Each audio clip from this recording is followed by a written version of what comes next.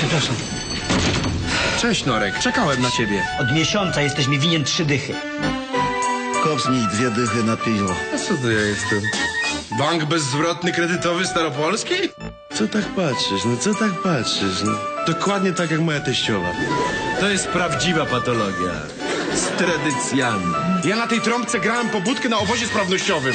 Chcesz ją tak żywcem pogrzebać? Popatrz, Tadziu, jak się ten mój mąż rozczulił. Co najmniej tak, jakbym zabierała mu schabowego. Czas na bliskie spotkania z dobrym humorem. Miodowe lata. Dzisiaj o 16 czasu polskiego.